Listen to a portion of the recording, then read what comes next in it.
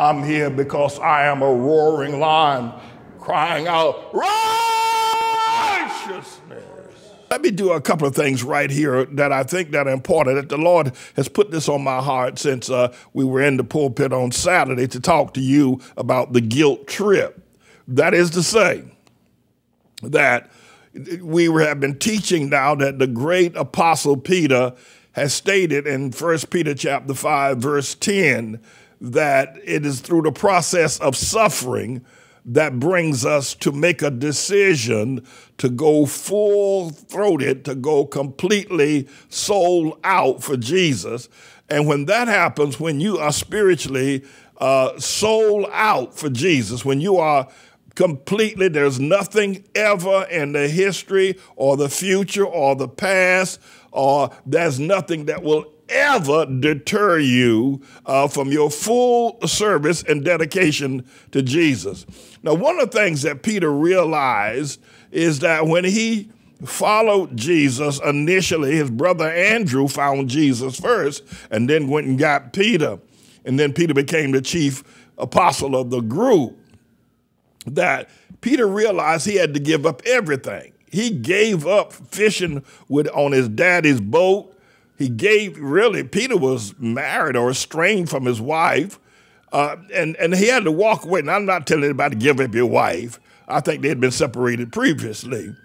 But Peter knew that you had to give up everything. And then in the course of events, after three years of walking with Jesus, Jesus was tried by the Sanhedrin, by the Pharisees there one night, uh, accusing him of blasphemy where he was later brought to Pilate and sentenced to death to be crucified. And Peter did not stand with him. There was something about Peter's commitment that he didn't, he didn't go the last mile. He went up to the door, but he didn't go in.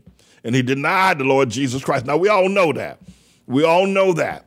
But what I want to say to you is that Peter had a guilt trip. And that's why I want to talk to you right now about many of you in terms of your full commitment Many of you have made the full commitment, but there is a spiritual dynamic that the devil is using that I'm going to expose right here, right now. Is that the devil is trying to make you feel guilty for the things that you did prior to your commitment to the Lord Jesus Christ and even after your commitment to the Lord Jesus Christ. And as a result of that, you don't feel fully worthy. You don't feel fully uh, committed. You don't feel perfect because you got a dirty, dirty past. Now, we all do. I'm not here arguing with you. I'm not here trying to make you feel bad. I'm not here to try to tear jerk you. We all have got a dirty past. Even people with, with pristine records have got a dirty past. Whether they, Jesus said, listen, he said it's one thing to have a to have a sexual uh, event with, with a woman that's that's that you're not married to or that's married to somebody else. That's called adultery. But Jesus said, wait a minute, it goes further than that. If you just look at a woman, you still got an adulterous, dirty past. But there are a lot of people that uh, are suffering from a guilt trip, and Jesus has sent me here today to wipe it out. Jesus sent me here today to rebuke you walking in guilt all these years. Get rid of it. The Lord sent me to get rid of it. Get rid of it. That guilt. Now you you did those things, and here's another thing. This one will kill you. Here's another thing. You know, if you had had a good, strong, don't take tea for the fever, righteous preacher like Pastor Manning early on in your life and your family and your friends, and everybody had had a strong pastor like Pastor Manning, not only strong in terms of his rebuke, his strength, his call to righteousness, but a vision to give you a promise and a hope so you wouldn't have gone down those lines of doing all those things that have now brought you to a, a, a guilt trip where you've got a lot of ugly things that went on in the back of your, your mind. So a couple of things that this a little bit self-serving, but I'm going to do it anyway. You ought to give God the thanks that you now know Pastor Man. But the Lord is that's me. The Lord has sent me here to tell you now. You got to you got to let go that guilt. And here's what you got to do.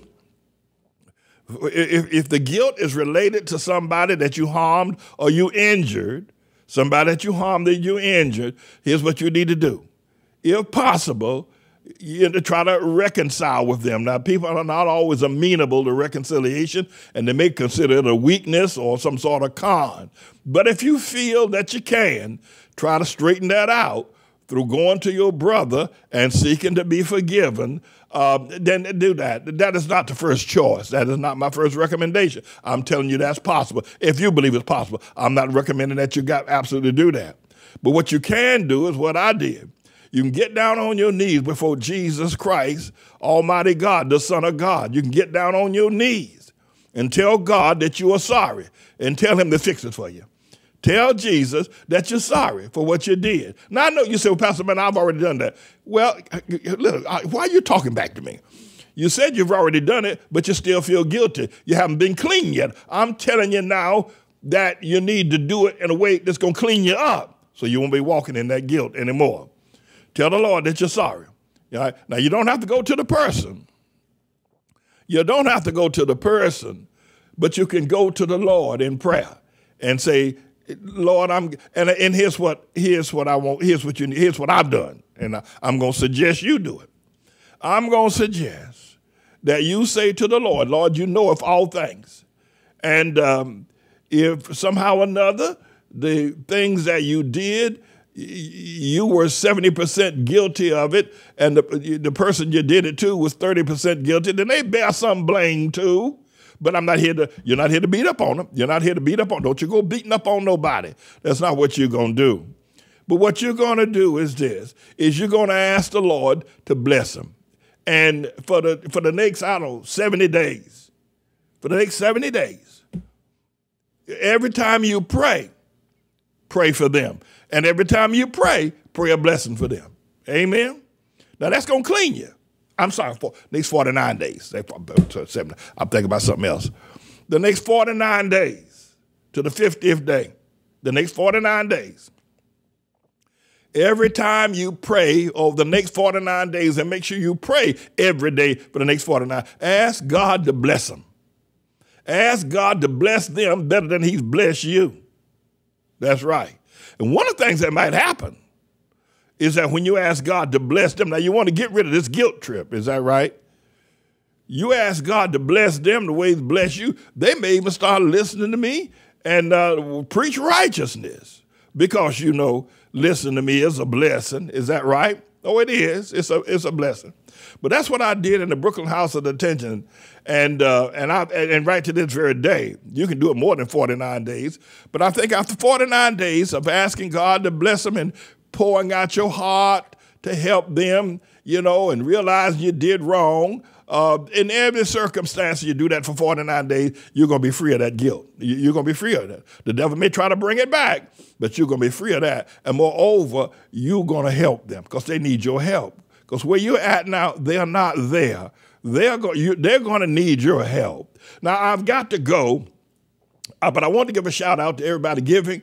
Wanted to, you know, talk about uh, Sister Lynette White and everything. I'll have more to say about that. I'm kind of rushed here uh, today because I want to dip into the uh, the January 6 hearings. So uh, let's go to the Lord and pray. Heavenly Father, Heavenly Father, give us 49 days of praying for every thing that has brought guilt into our life until that guilt is completely removed and we can celebrate the Jubilee of all the guilt, of all the wrong. And there'll be 49 prayers of blessings and blessings on those who may be uh, injured by our activity, that we might be fully committed and we will no longer carry that guilt. In the name of Jesus, give people, listen to me, the power to pray, to pray and be released and delivered.